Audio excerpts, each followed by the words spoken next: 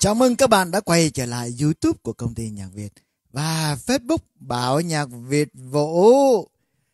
Rồi, ok. Hôm nay tôi sẽ nói về một cái chủ đề. Chủ đề đó tên là gì? Guitar của Chord. À, hàng đỉnh nhưng mà giá như thế nào? Hàng đỉnh nhưng giá như thế nào? Ok trước khi nói về cái đó thì tôi xin kể cho các bạn. Bởi vì thật ra mà nói cái cái cái cái cái câu chuyện này là nó là nó có một lỗi của tôi một phần. Có lỗi của tôi một phần các bạn. Thiệt. Lỗi này như thế nào? Nó là như thế này các bạn. Cách đây à, uh, 5 năm về trước. À 5 năm về trước thì vào một cái mùa hè. À tôi ghé thăm gia đình Kort ở bên Seoul, thành phố Seoul, tại đất nước Hàn Quốc xinh đẹp. Thì à, Kort là đã có ba thế hệ rồi các bạn. Thế hệ thứ nhất là qua đời rồi. Thế hệ thứ hai thì ông đang cỡ chừng khoảng tám mấy tuổi và thế hệ thứ ba là một cậu con trai rất đẹp trai bằng tuổi tôi luôn tuổi con cọp bằng tuổi tôi luôn à, những người những người tuổi cọp thường hay rất đẹp trai. À đó ok. Thì à, tuy nhiên qua những câu chuyện xã giao thăm hỏi tất cả thì đương nhiên là sẽ đi về kinh doanh như thế nào. Thì cậu ta có hỏi tôi rằng là có những cái gì hài lòng không hài lòng về tất cả các sản phẩm code và có đề nghị gì không? Thì nói chung là hầu hết là đều hài lòng hết cả. Chị à, nhưng mà đến khi mà bắt đầu nhậu à cả gia đình dẫn tôi đến một cái chỗ ăn rất là ngon các bạn. Rất là ngon cực kỳ ngon. Trời ơi rồi uống rượu của Hàn Quốc nướng thịt này kia. Thì sau khi mà cỡ chừng khoảng à, hết hai ba chai rượu nhỏ nhỏ vậy à, bắt đầu là mình bắt đầu mình à, mình không giữ được mình không kèm lòng được bắt đầu mình nói tùm lum. Thì tôi nhớ không lầm thì nó có như thế này. Tôi nói với anh, cậu anh trai và ông chủ à là bản thân tôi là một người chơi nhạc. À tôi là một người marketing nữa, học về marketing. Và tôi cũng biết nhiều thứ và bà tôi rất là giỏi về đàn này kia, như vậy như vậy. Thì cho đến giờ phút này thì à, không có gì về than phiền về khó cả. Có làm sản phẩm rất tốt, giá thành rất là tốt để đáp ứng cho rất nhiều thế hệ để chơi nhạc. Tôi chỉ nói là bây giờ thì à, trên nhiều người đã biết rằng là khi mà cầm cái Fender hay cái Ibanez hay những cái những đàn của những hãng khác thì có rất là nhiều người biết rằng là do cốt và công. Tôi mới hỏi là tại sao bây giờ cốt không xây dựng cái tên tuổi riêng của mình trở thành một cái tên tuổi nổi tiếng luôn? Bởi vì các bạn làm đàn rất tốt có giá thành rất tốt. À bây giờ tại sao mình không có xây dựng một tên từ nổi tiếng? Thế là à, câu chuyện đi tiếp. Thì theo tôi thì nên thế nào? Rồi tôi mới nói luôn. Có khi nào mình à, làm một cái xưởng mà custom shop ở Mỹ à, tại Mỹ và Tây Ban Nha. Mỹ thì là làm dây đàn dây sắt là dây đàn điện nè. Và Tây Ban Nha thì đàn dây guitar ni lông các bạn biết rồi. Hai cái nơi đó là làm đàn số 1 thì tại sao mà Cod không đặt cái xưởng ở ngay California hay là bất cứ nơi đâu ở nước Mỹ hay Tennessee chẳng hạn, là xứ sở của nhạc country chẳng hạn, là nơi phát sinh ra đàn Gibson đó, Tennessee. À đó, hay là California để làm guitar thùng. Thì ông bố suy nghĩ rất là rất là mông lung. À à tại sao ha? Thì à, thì sau đó thì tôi đi à, mình ăn uống no say rồi mình nói tùm lum tùm la rồi mình à, đi về thôi mình à, cũng quên luôn. À nhưng mà không ngờ rằng là cái đời lời đề nghị của tôi là bắt đầu là có giá trị từ đó.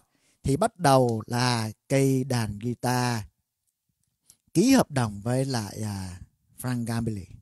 À một tay, tay guitar lấy lồng thì các bạn đã biết rồi. Trước đây thì cũng có những cái người mà đánh guitar mà nổi tiếng nhưng mà như Frank Gamelli thì à, tôi thấy lần đầu tiên mới thấy được Frank Gamelli à là một người rất là nổi tiếng và ký hợp đồng với Chord để cho ra cái cây acoustic mà rất là nổi tiếng mà các bạn đang biết rồi. Mà giá thành rất ư là hợp lý. Và bắt đầu tiếp tục là những cái series limited. À theo theo, theo sau theo sau theo sau. À cứ mỗi một năm ra chừng khoảng chục model limited. À, một năm một ra một chục model limited như vậy. Và à, họ đã lấy tất cả những cái kỹ thuật mà tốt nhất à, gỗ tốt nhất và kỹ thuật làm đàn tốt nhất à, quy tụ lại để cho ra những cái sản phẩm mà tốt nhất mà họ có thể làm. Thì hôm nay thì tôi xin, xin giới thiệu với các bạn ba cái model à rất là tốt à tốt nhất. À mà đây là một trong những cái cây mà rất là dữ dằn. À mà chỉ vì tôi uh, quên nhập rồi mà bây giờ không còn nữa. Nó là personal file. Personal rất là đẹp ha. Thì đó là để cho, cho các bạn thấy. Thì uh, qua uh, tuần hai tuần vừa rồi thì các bạn cũng thấy là hiếu đã đăng nhiều nhiều sản phẩm mà limited rất đặc biệt trông rất đẹp của Chord lên trên trang uh, Facebook của công ty nhạc Việt và cái cái trang Chord Guitar and Bass Việt Nam. Thì à, thực ra mà nói đó các bạn khi mà nhìn ở trên cái trang web như vậy nè bản thân tôi thì tôi thấy cũng ok thôi. À tôi thấy cũng ok thôi. Rồi mình đọc tất cả mọi thứ thì đương nhiên là nó nó họ đã mô tả rất là chính xác. Nhưng mà đến khi mà thấy thực tế ở công ty các em mở ra à hiếu này kia là nhật anh này kia mở ra và chụp hình. Hiếu với nhật anh thì thật ra không biết chụp hình à, à, giỏi chỉ đơn giản là cầm cái iphone rồi mang ra chụp hình thôi cũng chả biết chụp hình giỏi gì cả thì có sao chụp vậy thôi. Chứ túi mà ở nhà là tôi, tôi chụp hình là khác hẳn à. Tôi mang cái máy chuyên nghiệp ra tôi chụp là khác hẳn là cái từng cái sớ gỗ thế này kia là khác hẳn. Tuy nhiên cái điều đó cũng nói rằng là chỉ bằng iphone bình thường thôi. À mà cái đàn nó đã lên tuyệt vời, nó lên đẹp như vậy. Thì hôm nay tôi xin giới thiệu với các bạn ba cái model thứ nhất là Rosalind Limited. LI có nghĩa là limited đó các bạn. Thứ hai là Puzzle Limited. Puzzle à Puzzle có giống như là mấy cái cái mảnh ghép mà đố chữ vậy đó. Hay là đố hình đó cái này là Rosalind bởi vì giữa, giữa đây có một hình một cái cô gái đang ngửi một cành một cái uh, cành hoa hồng. Người ta hôm qua 8 tháng 3 nữa đúng không? À, Rosalind à, và cái thứ, thứ thứ ba là cây abstract cũng limited luôn. À, công ty hiện đang đang đang có cỡ chừng khoảng mà chục chục model limited. Nhưng mà hôm nay tôi chỉ xin giới thiệu với các bạn ba cái này thôi. Tuần sau tôi lại giới thiệu tiếp thì uh, cây limited đầu tiên này là cây Rosalind đó. Thì ở đây ta viết rằng là là lấy cảm hứng từ thế kỷ thứ 19 à, thời kỳ Nouveau. À, thời kỳ nghệ thuật của Nouveau thế kỷ thứ 19 thì à, uh, Rosalind ra đời là thực sự là một kiệt tác. À thì bla bla bla bla bla thì tôi nghĩ là các bạn cũng không cần cần thiết là phải nghe những cái bla bla bla bla bla mà tôi sẽ nói đây bởi vì tất cả các bạn có thể Google dịch được những cái này và họ sẽ nói ra. À, nói chung là có một hình cô gái đang ngửi cái bông hồng như thế này và cạnh lên như thế này. Tại sao có như vậy? Rồi cái, cái lỗ nó nằm ở đây. Rồi pick up như thế nào? Dùng gỗ gì? À dùng gỗ gì? Dùng gỗ tốt nhất là gỗ gì như thế nào? À như thế nào? Đó đó đó đó đó, đó, đó như vậy. Đó. Thì các bạn có thể google dịch ra như thế này. Đó. Và điều thứ hai nữa là các bạn sẽ hỏi tôi rằng là Ủa sao mình không có demo đi anh? Kiếm một người nào đó demo có thật ra có demo trên mạng thì có nhiều lắm các bạn. Trên mạng có nhiều lắm. Các bạn nếu mà các bạn gõ code Rosalind này chẳng hạn, thì cũng có nhiều người demo nhiều cao thủ demo nhưng mà nếu demo mà các bạn nghe demo xong rồi, tí nữa tôi cũng sẽ bỏ cái đường link demo vô trong cái phần comment cho các bạn. Nhưng, gì thì gì, nếu các bạn thực sự, các bạn muốn coi nó thì mời đến công ty. Các bạn cầm cái kiệt tác đó lên. Tôi gọi là kiệt tác thực sự. Bởi vì khi mà em hiếu đưa cho tôi coi tôi chỉ nhìn bằng messenger video thôi các bạn. Nghĩa là messenger video thì trông rất là chán đó các bạn. Độ phân giải kém rồi đường mạng kia tung lum. Mà tôi đã té ngửa rớt xuống đất bởi vì nó đẹp quá nó đẹp hơn cái tôi tôi tưởng tượng rất là nhiều. Đó. Và đây là cây roselyn. Cái thứ hai là cây Purcell đó.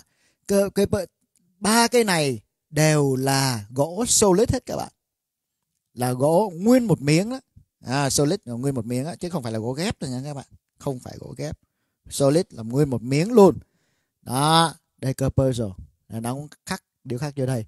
Và lưng và hông là là gỗ maple mà limited.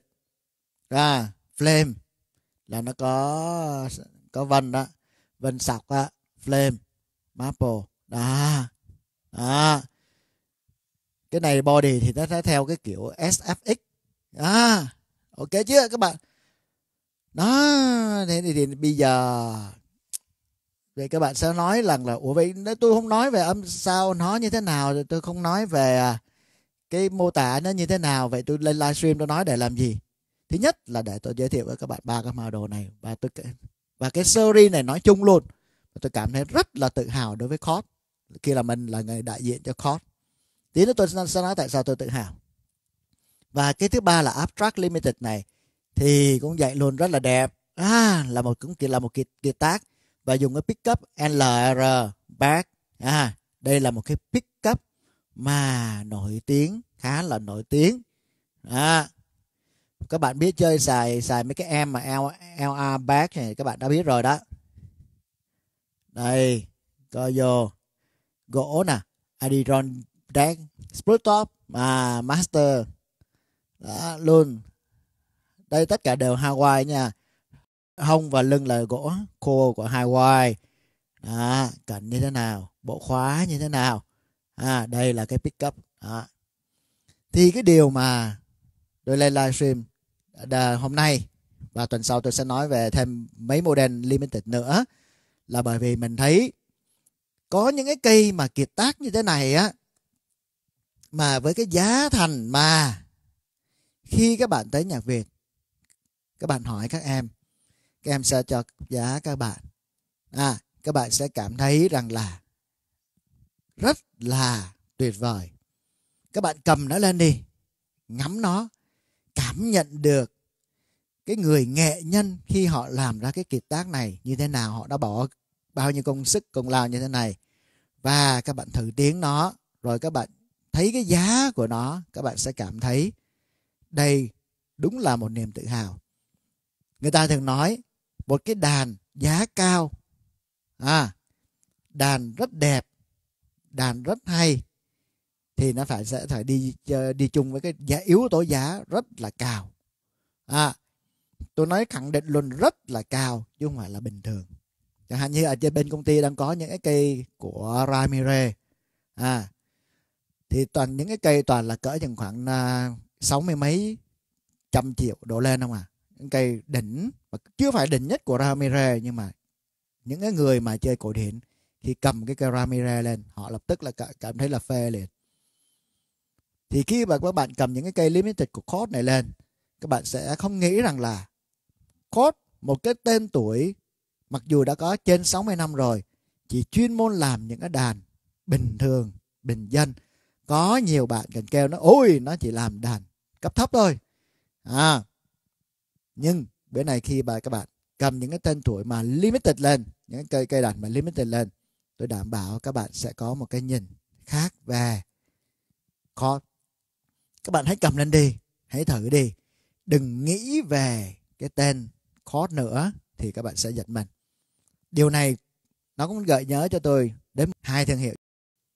Đó là Samsung và LG Daegu và Hyundai thì tôi không nói rồi nó nó trở thành những tập đoàn nó kiểu khác rồi. Bây giờ tôi nói về những cái đồ mà như đồ mà thương hiệu điện tử Samsung và LG tại, tại sao tôi nói về cái điều này? Cách đây mà cỡ chừng khoảng 10 năm trước thôi tôi không nói 20 năm nha 10 năm trước thôi. Khi mà mua cái tivi Samsung lần đầu tiên ba tôi mua cái tivi mà LCD á. À, tivi dẹp á. Tôi nói ba tôi hỏi đi giờ mua cái gì? Tôi nói ba tôi mua cái Samsung. Và tôi nói ờ, tại sao đi mua cái Samsung gì mua Sony hay mua GVC này kia thì tại sao đi mua cái Samsung?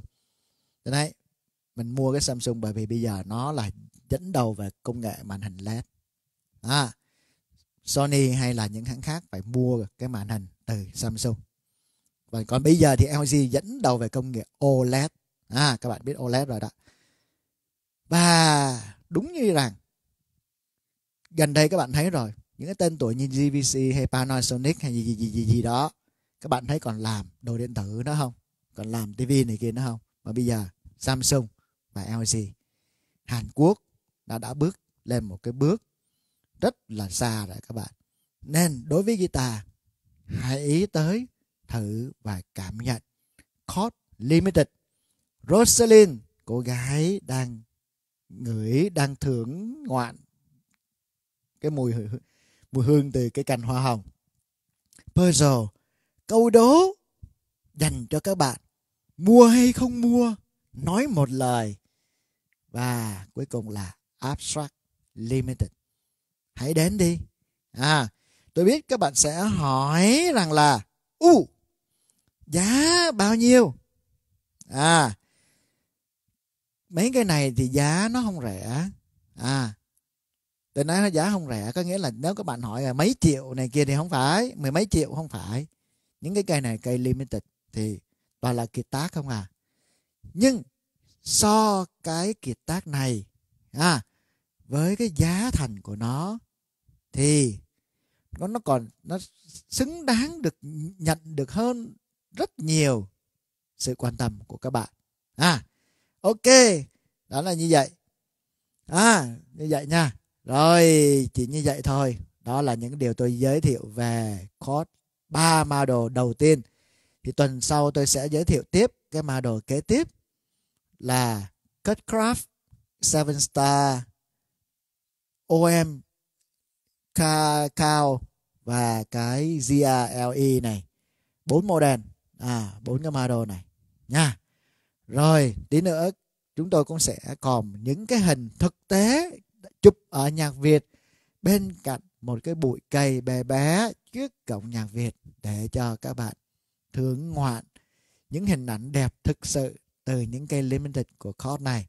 Chúc các bạn một ngày tuyệt vời. Rồi, bye bye.